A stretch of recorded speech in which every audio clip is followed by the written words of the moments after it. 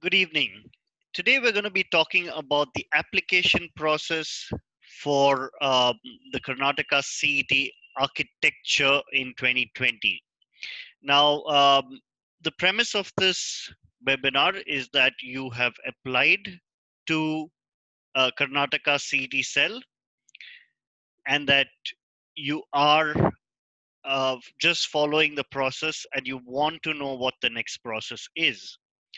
So as of today, the the Karnataka CET cell has just you know uh, given you the option to upload your documents, and a lot of parents and students have reached out to us asking how do we upload our docu- documents? And once we upload our documents what are the next steps? What do we need to prepare for? So we're going to be covering all of this in the next 10 to 15 minutes Right. So the questions we are addressing in this uh, webinar is the what is the link? Where do we find that link, and how, where do we upload our scorecards? So that is the first thing that we'll be covering. Subsequently, we'll be talking about filling up the form, um, the process for that, and the other questions that people may have, and how should what should I prepare for next? All right? Or rather what are the next steps? So we're going to take this up. Now the first thing that you need to know is that you need to go on to the official uh, karnataka cet website which is which is uh, shown here. So very important that you go to this website. And in the flash news as of today you will see this particular um, link or or news. And if you don't find it here you'll find it at the bottom later all right? But the point is you click on this link look for this particular information which says marks entry for uh, pu cbse cic students. And um, put in your username and password and the security card and you'll enter this page. Once you enter this page the information that they ask you for is is your board marks.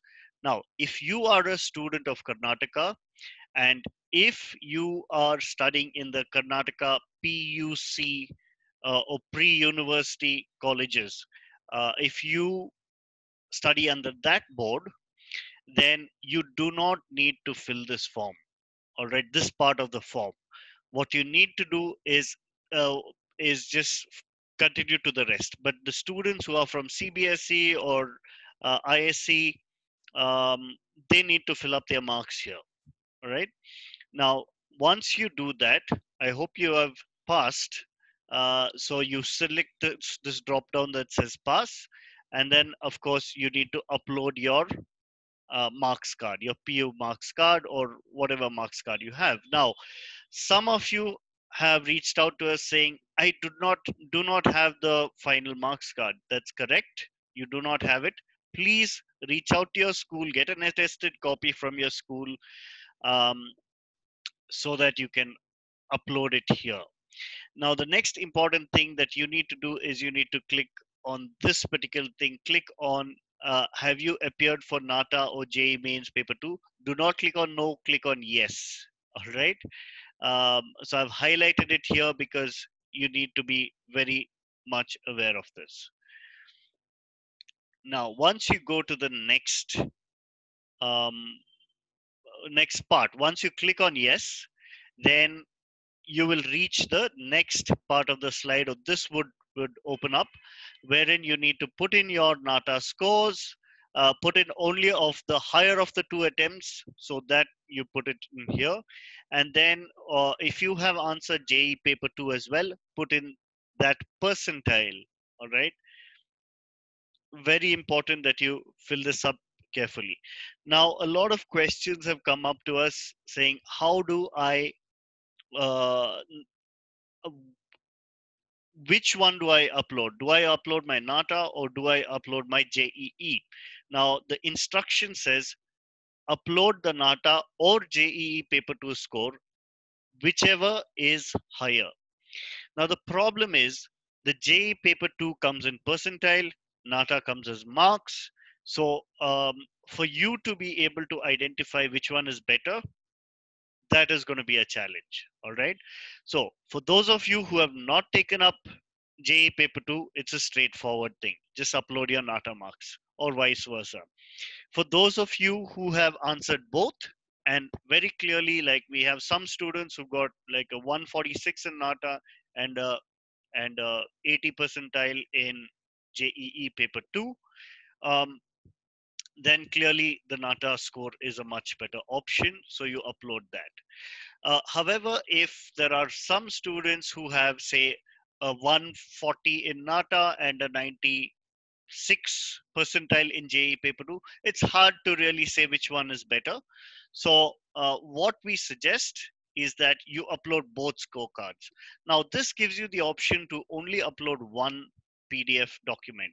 So what we want you to do is your NATA scorecard or your JEE scorecard, if it comes as a PDF, convert it into an image file that's a uh, PNG or a JPEG, put it onto a, a, a PPT, all right, and put, you can put them side by side or you can put them one over the other and then save that particular slide as a PDF, all right.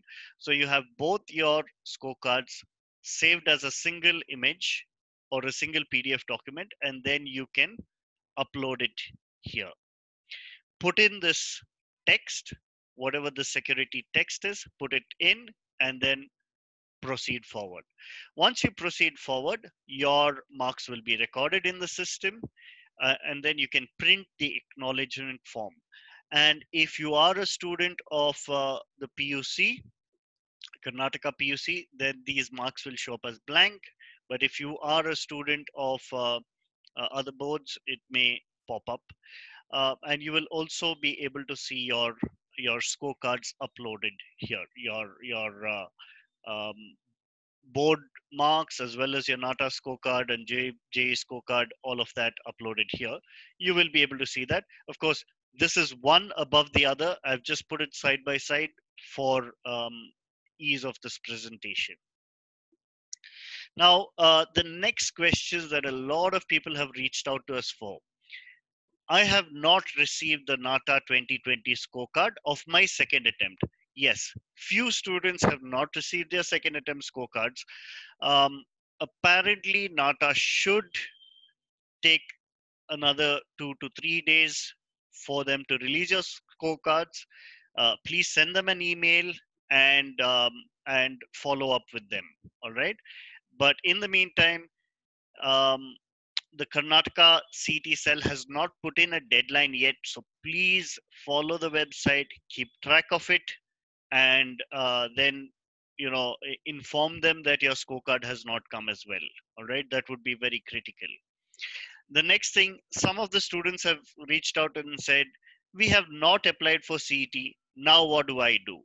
So uh, if you have not applied for CET yet, uh, that is a challenge because uh, the process requires you to apply for the for Karnataka CET way ahead of time. Now, uh, last year, going by last year, um, the same thing happened to quite a few students. So, uh, on you know, on a special consideration, uh, the Karnataka CET cell reopened the window for a few days, one or two days. That's it. So please keep track of the CET website as well. Uh, what are the other documents required is another question that I've, that we've got. Please go through the Karnataka CET cell brochure that you can get on the website. We hope you have it already. Otherwise, go to the website, get it from there, and you will get all the documents required there. Um, they say get it from a gazetted officer. Please reach out to your school, find out who the gazetted officer is. Um, if you have reservations, if you come under reservation, sports quota, um, PWD, you know, SC, ST, any of the reservation, get those documents in order. And then the next thing is during the counseling, what do we have to take? Do we have to take originals? I'll come down to that okay uh, uh, it's covered in this next section section what should i prepare for next so number one is you upload your scorecards on the KEA websites number two plan very well for this. Uh, your Karnataka CET architecture rank list will be announced. Keep an eye out for this. Once your rank is announced, please be well prepared with this next point. I cannot stress harder on this. Um, what you need to do is um, create a list of schools as per your your preference. Uh, do not mix it up. You can put in any number of architecture schools in Karnataka, but make sure the order is of your preference. Then comes the document verification and the payment of fees and the commencement of classes for the document verification once your school is assigned to you. Um, then you will get the uh, you will be called for document verification where you'll physically need to take your documents get it verified and move on to the payment of fees all right? And then classes will commence. Now the timelines for all of these are not very clear but uh, keep an eye out for that. Keep watching the websites and following both uh, following the websites all right? Now as part of the what should i prepare for next plan your list of architecture schools in order of your preference all right? We cannot stress on this how how important it is. A lot of students every year mess this up. They put in a random order of schools and then they um, you know get get a school that um, they would have got uh, you know they could they would have not preferred or preferred as a next option. Now uh, to help you with this please go through this particular link. Uh, this is on our YouTube channel, and this this YouTube channel has a whole webinar which I've conducted earlier, which says Architecture 2020 Next Steps. Please go through that in detail. It'll give you a lot of ideas. Um, also, in this playlist, there is there are about 17 schools, architecture schools or interior design schools uh, that we have we have um, interviewed we have met with the managements and uh, uh, we have conducted live webinars. So go through this. It'll give you a great idea of how you should be selecting your schools and which are the schools that you sync up with. Uh, do remember to sign in when you uh, watch this this playlist. Also subscribe to the dq labs youtube channel which is very important.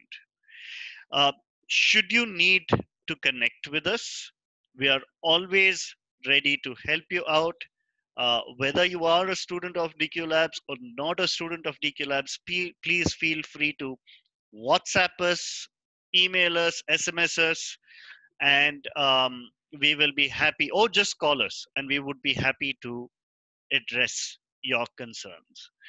Um, do follow us on Instagram, dqlabs underscore Bangalore, or you can put dqlabs underscore any of these cities, uh, and you'll reach that particular uh, Instagram page. You can also follow us on Facebook, facebook.com slash dqlabs. We hope this has been helpful. Thank you so much, and please like, comment, and um, and share this video.